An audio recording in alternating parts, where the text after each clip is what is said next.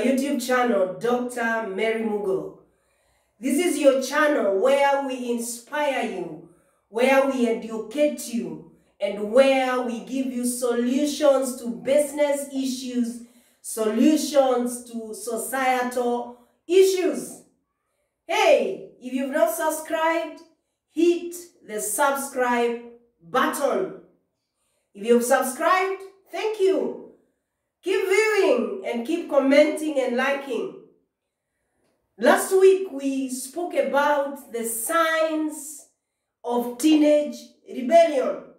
And I did promise that I'll bring Kabi back to speak to us on what it is that you can do as a parent when you see these signs in your teenage. To give you a synopsis, hey, be honest with your teenager. Yeah? Secondly, keep them busy. Yeah? Thirdly, and most important, be a good example to your teenager. In other words, you could be the problem, not your teenager. Yeah? Hey, listen in and listen to the end.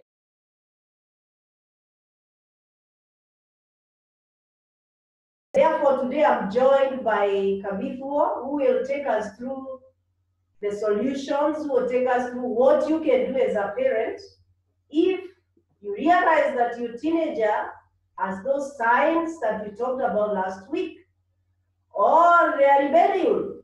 Welcome, Kabifuo, to my YouTube channel. Thank you very much, Daktari.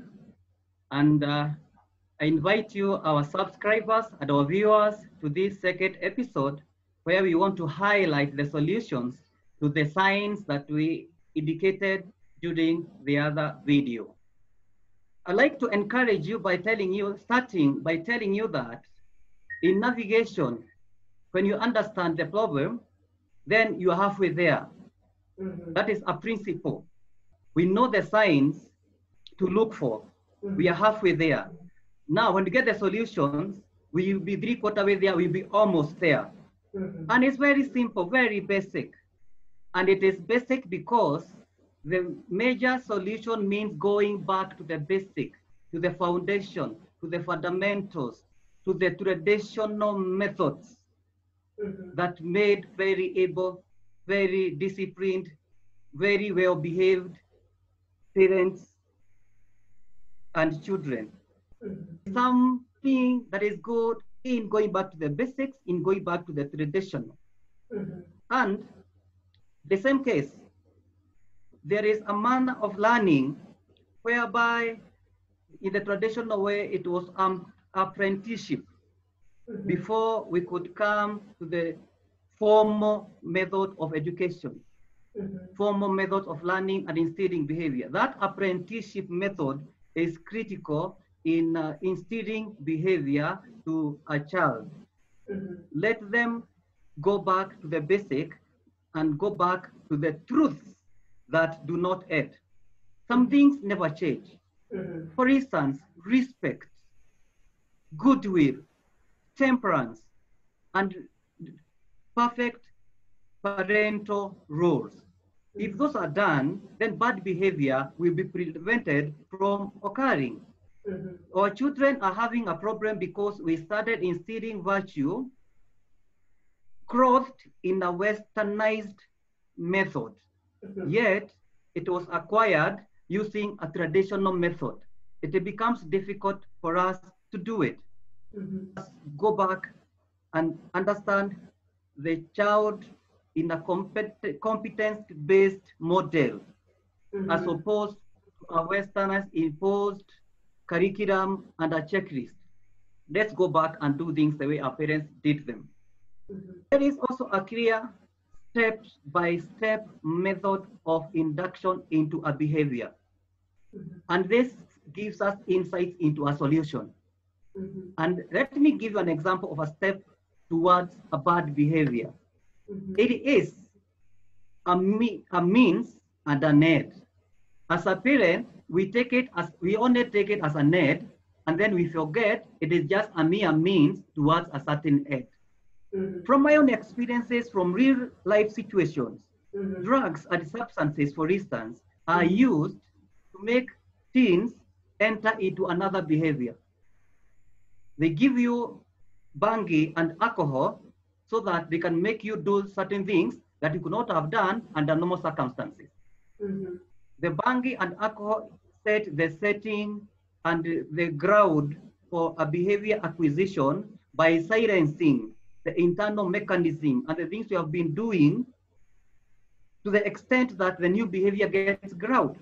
You are disciplined, you are Christian, you Mhm. respect your parents. But Mhm. that does not work when you have smoked something. That does not work when you have drunk something. You forget, you become, I don't care. So what is the aid? What is the aid? Bad behavior. Mhm. Or what is the means? Alcohol. Mhm. What is the means? Bangi.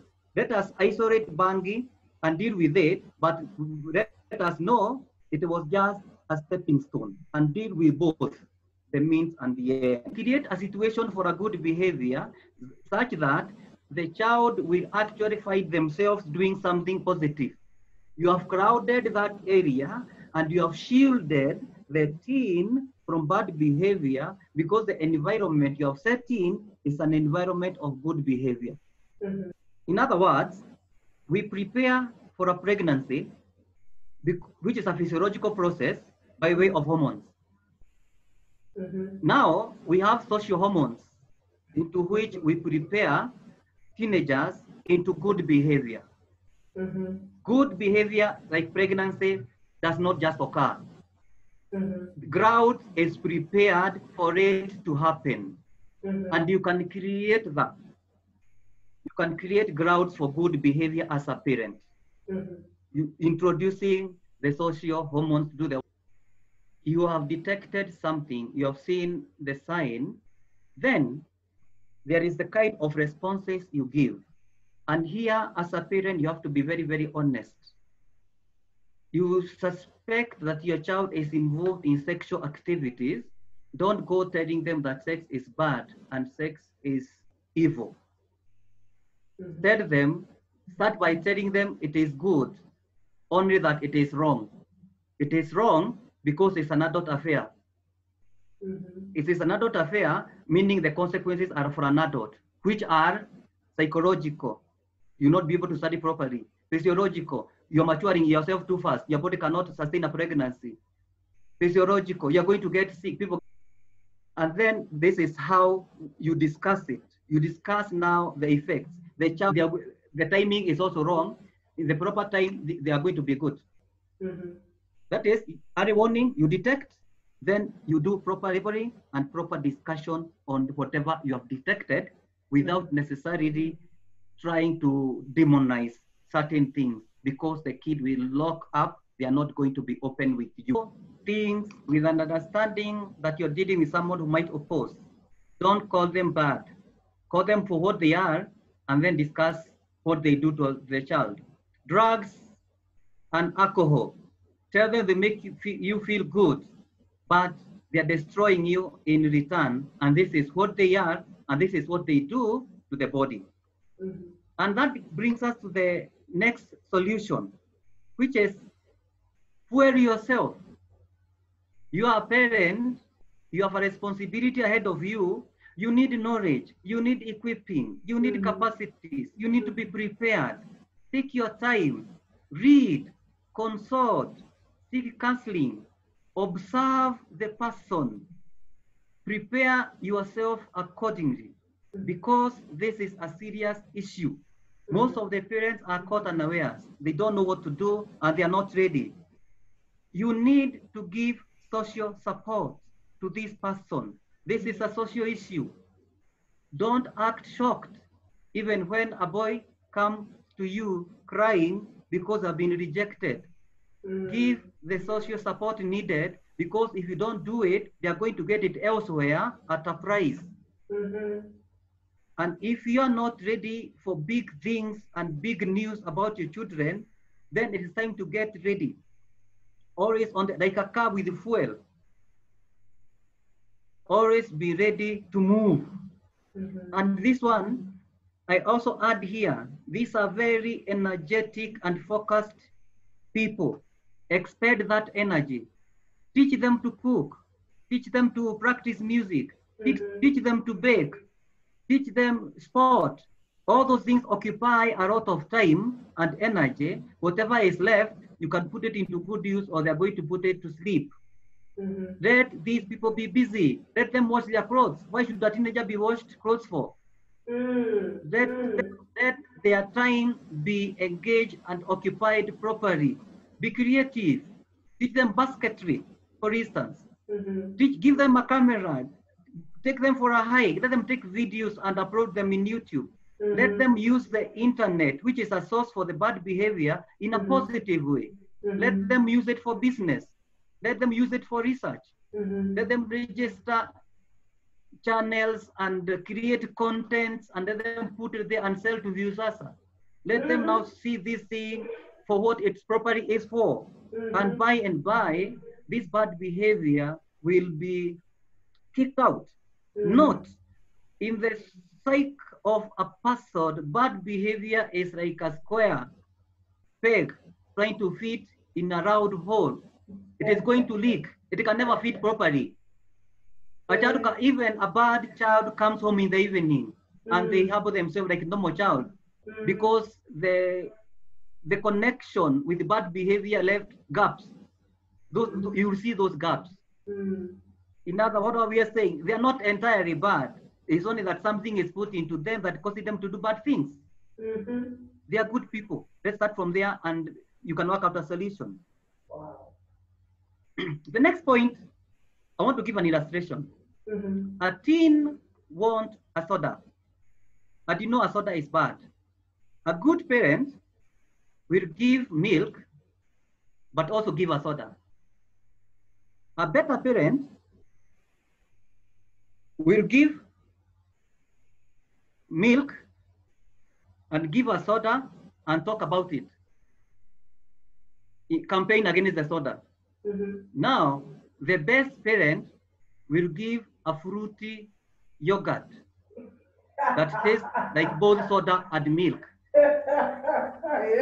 You get everything for free.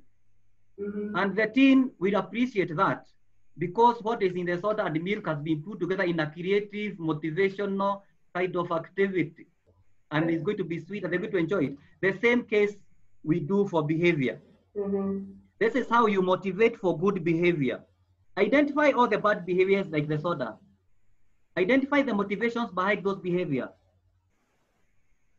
Come up with innovative solutions like the fruity yogurt into the behavior.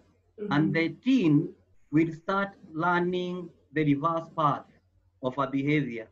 And they are going to choose that new behavior because there's no magic in the soda that the yogurt cannot get. It's just a lie Mhm. by the marketers.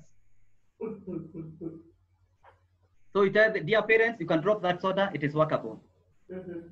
And the last il- il- illustration I want to use is like bad behavior is like an orchard where we have fruit trees and we have weed. Weed acts as alternative hosts for pests and disease causing organisms. They also block the light and the right. This is, this is what they are. Bad behavior for teens is never acquired from very far. Just like an orchard, the weeds from very far do not affect the orchard. Mhm. It is the weed starting next to the fruit tree. It's the people you live with. It's the relatives. It is some parents. Mhm. It is cousins. It is domestic managers. Mhm. It is people close there. Those are the weeds. They are the conduits. And there's a lot of teenagers have hid under the aunties to go and do bad things. A lot of boys have hid under the uncles to go in the guise of doing a good thing, but they're actually doing a bad thing. Mhm. Even good people like parents and grandparents have actually helped to give ground to bad behavior. And this brings us to a very important point. I want to challenge you, the parents. Some of these solutions need to start with you. You also Mhm. need help. You're also bad. You're also doing bad things to, to allow certain things to happen. Mhm. We all know some parents that protect children and takes the side of the child in case they are confronted by a situation. Mhm. We witness this a lot in schools. Mm-hmm. A child is completely delinquent, and the, helping that child becomes even harder because the parent is siding with the child, equipping the child, even sneaking things in for the child, Mm-hmm. like giving them phones and all that. Solution lies by some parents streamlining. Try, streamline yourself, you have a responsibility. Sacrifice and do things correctly. We can never have full solutions without you doing your work. And some things must stop. And, and I'm speaking about a lot of many middle class parents. Others have absconded their responsibility.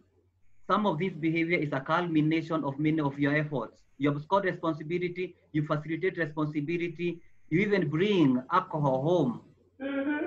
and they don't, and you don't handle it properly. Some of them even share with their teenagers. That is, sociologically, behavior is there is a behavior to learn at home. Primary socialization does not include alcohol. Let them learn alcohol the proper society way and the proper time.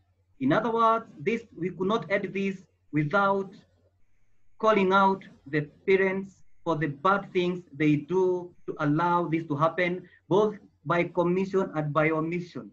Don't do right, and then you also do things that are actually bad.